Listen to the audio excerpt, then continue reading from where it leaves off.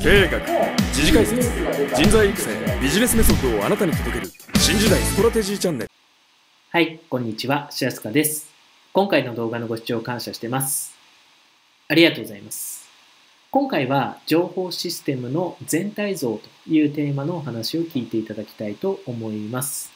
でまず、なぜ情報システムを学ぶのかということなんですけど、まあ、常に進化し続ける情報システムの基礎基本を学ぶことは、これから伸び続けるインターネット業界でさらに大きな成功するために強力な武器となるということですよね。まあ、インターネットという世界は、ね、接続するインターネット人口も増え続けるし、ね、インターネットにつながる媒体も、ね、増え続けるし、そして今までですね、インターネットとは全然関係がないと思われていた、ま、製造業、建設業、そういったも、え業界の人たちもどんどんどんどんインターネットを活用して、まあ、自分たちの事業を大きくしていくということですよね。まあ、実際は今までは実店舗で、ね、販売する小売業だったとしても、ね、インターネット経由で、これからどんどんどんどん販売をする、その販売割合というのを増やしていくということですよね。まあ、人口が増えて、業種が増えて、そして媒体が増えていくということは、まあ、インターネットという世界はね、これからもどんどんどんどん伸び続けるということですよね。まあ、新しい技術ですよね。えーその、例えば人工知能に代表されるような新しい技術というのも全部インターネット関連で、ま、伸びていく新技術ということであるならば、まあ、インターネットという世界は伸び続けるということですよね。まあ、その伸び続ける業界で大きな成功するためには、ね、情報システムっていうのをしっかりと理解している。え特に基礎基本っていうのをしっかり理解しているっていうのは非常に強力な武器となるので、学ぶ価値が十二分にあるということですね。はい、えーということで今回はですね、情報技術の全体像というテーマになります。まあ、今からね、えー主に、えーどういったことをやっていくのかっていうのを、一番最初にこう全体像というのを、えー確認していきたいと思います。まあ、次回以降で一つ一つをこうね、えじっくりゆっくり、えーわかりやすく説明していくことになるわけですけれども、まあ、今回は今からやっていくのは結局どういったことをやっていこうとしているのかっていうのを、まあね、全体像という形で確認しておいていただきたいというふうに思います。まあ、左側の方ですね、まあ、これが例えば自分が持っているパソコンとか、もしくはスマートフォンだとえ考えてください。ね、えパソコンなどって書いてるんですけれども、一番左ですね。えパソコンなどって書いてるんですが、まあ、スマートフォンも、えもちろん、ねえ含むということになります。えそうしたときにハードウェア、ソフトウェアですね。ハードウェアっていうのは、まあ、機械そのものですよね。パソコンという機械ですね。もしくはスマートフォンという機械ですね。まあ、こういったものがハードウェアですね。で、その機械の中に入っている、パソコンの中に入っているソフト、もしくはスマートフォンの中に入っているアプリケーション、まあ、こういったものがソフトウェアということになりますね。なので、まあ、例えば自分がパソコンを持っていて、ね、そのパソコンという機械の中にいろんな、ね、例えばワードとかエクセルとか、パワーポイントとか、まあ、そういったソフトが入ってますということですよね。で、そのパソコンとルータと呼ばれている機械に接続するわけですね。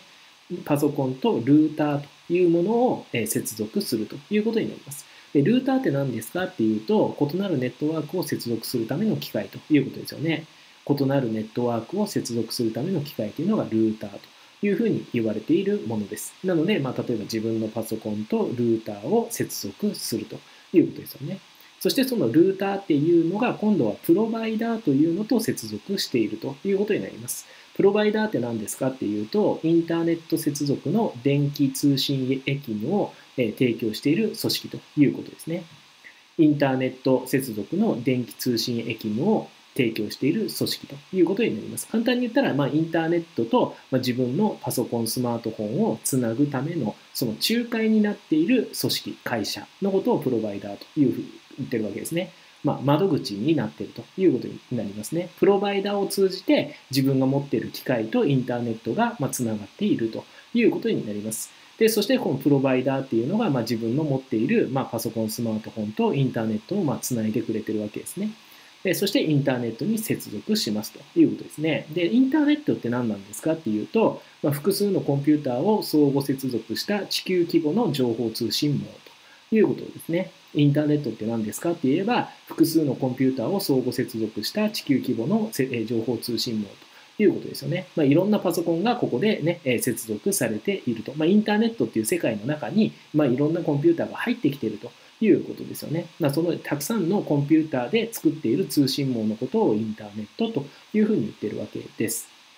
そしてインターネットでね、例えば自分が何かね、調べ物をしたい、え調べ物をして、ね、何か知りたい情報があるとしたならば、ま、自分のパソコンからルーターを経由してプロバイダーを経由してインターネットにつながりでインターネットの中で、まあ、その自分が知りたい情報を持っているそのね、えー、ところから、まあ、参照してくるわけですよね。それが一番右に書いてあるデータベースですね。で、データベースを、ね、提供しているサーバーですね。データベースっていうのは、まあ、文字通り情報の集まりですね。データベースっていうのは文字通り情報の集まりです。で、その情報の集まりがあるコンピューターですね。まあ、情報の提供元になっているコンピューターのことをサーバーというふうに言ってデータベースサーバーと言ってるわけですね。まあ、サーバーっていうのはサーブするコンピューターということなので、まあ、情報を提供するコンピューターですよね。なので、その情報が集まっている情報を提供するコンピューターからね、が応答してインターネット経由で今度はプロバイダーを通じてルーターを通じて自分のパソコンにそのね、えー、情報が返ってくるということになりますね。まあ、時間の流れでいけば、まず、まあ、例えば自分が情報で、じゃあ、例えば何か検索して何か情報を知りたいとしたならば、まずパソコンからルーターにを経由して、プロバイダーを経由して、インターネットに接続しますと。で、インターネット上で、まあ、自分が知りたい情報の、ね、情報を持っている、ね、そのコンピューターですね。データベースサーバーであるコンピューターから、ね、情報が応答して、で、インターネットからプロバイダー、プロバイダーからルーター、ルーターから自分のパソコンという形に情報が返ってくるということですよね。だから情報が行って帰ってくるという流れで行った時に、パソコンからルーター、ルーターからプロバイダー、プロバイダーからインターネットに情報が行って、そしてね、その自分が知りたい情報の回答がデータベースサーバーからインターネットを通じて、プロバイダー、ルーター、自分のパソコンというふうに返ってくると。いうことですよね。これがま情報技術、情報システムの全体像ということになります。今回はその全体的な絵というのを見ていただいたんですけど、まあ、次回以降でね、じゃあ一つずつ、じゃあハードウェアとかソフトウェアとか、もしくはインターネットとか、まあ、そういったものっていうのをより詳しく学んでいきたいというふうに思います。まあ、今回はその全体像というのを先に確認していただいたということです。はい。今回の動画ですね、えご視聴くださり感謝してます。ありがとうございます。もしお役に立ったということであれば、ぜひグッドのボタンを押して応援していただけると嬉しいです。チャンネル登録もよろしくお願いいたします。そして現在ですね、メルマガ登録していただいた場合は、4つの無料プレゼントというご案内をしていますので、ぜひこの機会にメルマガを登録して4つの無料プレゼントを全てお受け取りいただければと思います。はい。最後までご視聴くださり感謝してます。ありがとうございます。白坂慎太郎でした。それではまた。